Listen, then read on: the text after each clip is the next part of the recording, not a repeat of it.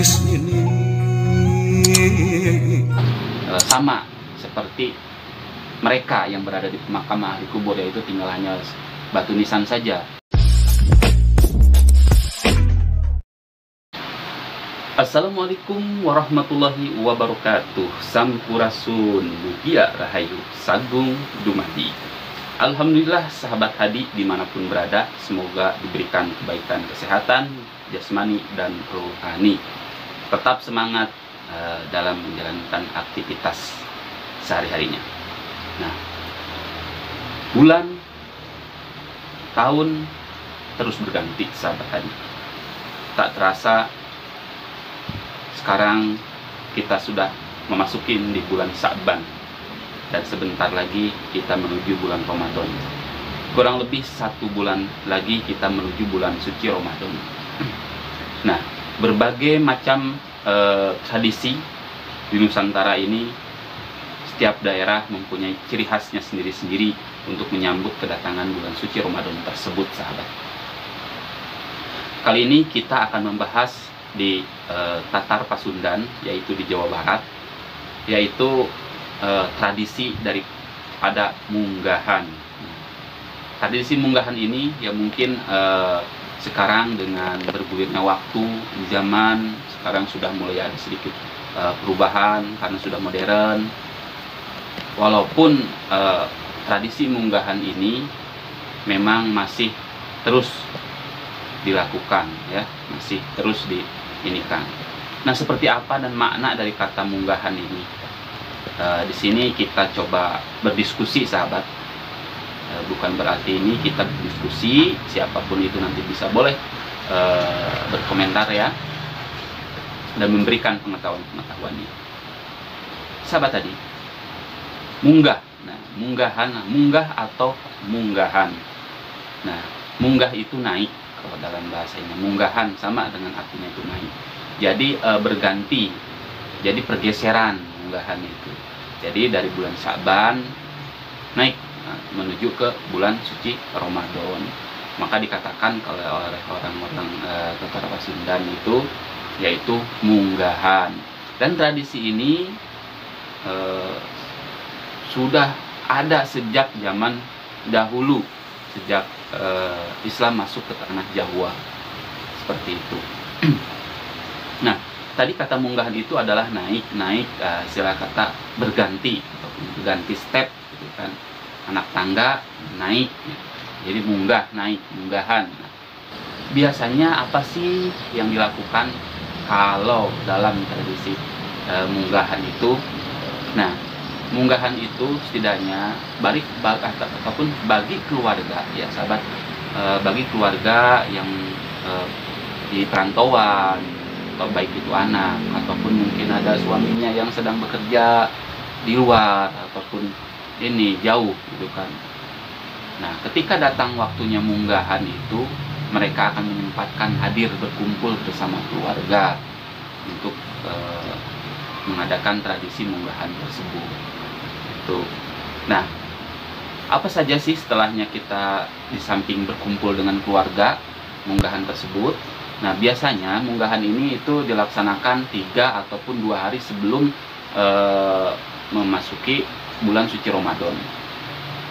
Yaitu munggahan itu biasa dilakukan dengan e, per kelompok keluarga ataupun e, masyarakat juga bersama-sama biasanya pergi ke makom keluarganya masing-masing.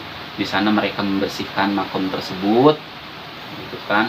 Nah habis setelah membersihkan bersama-sama di sana mereka berkumpul. Gitu kan saling e, menyapa satu sama lainnya terturahmi gitu kan bersama. Nah setelah itu mereka berdoa gitu kan kepada sana famili keluarga yang telah mendahului gitu kan di sana. Nah, serta itu yang paling e, ciri khas pokoknya itu biasanya itu apa? Makan bersama bersama keluarga ya. Karena mungkin kalau dalam e, kondisi di masa pandemi ini mungkin agak sedikit e, dikurangin. Kalau sepertinya kalau umpamanya dulu itu kita makan bersama nih, umpamanya makan bersama tapi tidak di dalam e, apa? Rumah, di luar rumah. Nah, di sama keluarga gitu kan. Luar rumah apakah itu umpamanya di uh, tempat saung ataupun apa gitu kan. Jadi seolah-olah kita uh, makan bersama di siang hari gitu kan. Karena apa nanti ketika setelah memasuki bulan suci Ramadan itu kita sudah tidak bisa lagi makan di siang hari tentunya. Setelahnya itu yang paling pokok utamanya itu posisinya itu apa? E, kalau mem memasuki bulan suci Ramadan itu pasti kan mandi. Ya mandi keramas gitu kan membersihkan membersihkan diri dari kotoran-kotoran istilah kata fisik ya yaitu jasad ya nah sekarang kalau umpamanya dilihat atau memaknai dari kata uh, tradisi munggahan ini yang pertama adalah uh, pergi ke makom atau makamnya saudaranya ataupun ibu ayahnya yang telah mendahului ataupun kakak familinya itu untuk membersihkan makamnya. Maknanya itu tersebut bahwa kita e, ke dalam diri kita salah satunya untuk mengenali daripada diri kita. Dan kita tuh akhirnya nanti nanti mau ke mana bukan seperti itu. Nah dengan e, tadi sih dengan cara membersihkan itu hal yang positif ya, tentunya kan. Membersihkan pemakaman setelah membersihkan juga setelah kata nanti e, mendoakan gitu kan. Nah itu e, posisinya seperti itu itu adalah hal-hal yang positif gitu kan. Di samping itu kita juga bisa apa e, menginikan ke dalam diri kita bahwa tentunya kita itu akan kembali. Kita akan kembali dan kita juga akan istilah kata e, sama seperti mereka yang berada di pemakaman ahli kubur yaitu tinggal hanya batu nisan saja. Karena kalau bahasa ini kan e, kulu nafsin betul maut. Dalam bahasa ini siapa pun yang yang bernyawa itu pasti akan mengalami kematian seperti itu sahabat setelahnya itu kita membersihkan diri dengan uh, mandi yaitu keramas semuanya gitu sama membersihkan diri gitu kan secara jasad dan jiwa. Bukan cuma hanya istilah kata kita hanya bersih jasad tapi jiwa kita pun uh, melunturkan daripada ego-ego kita gitu kan.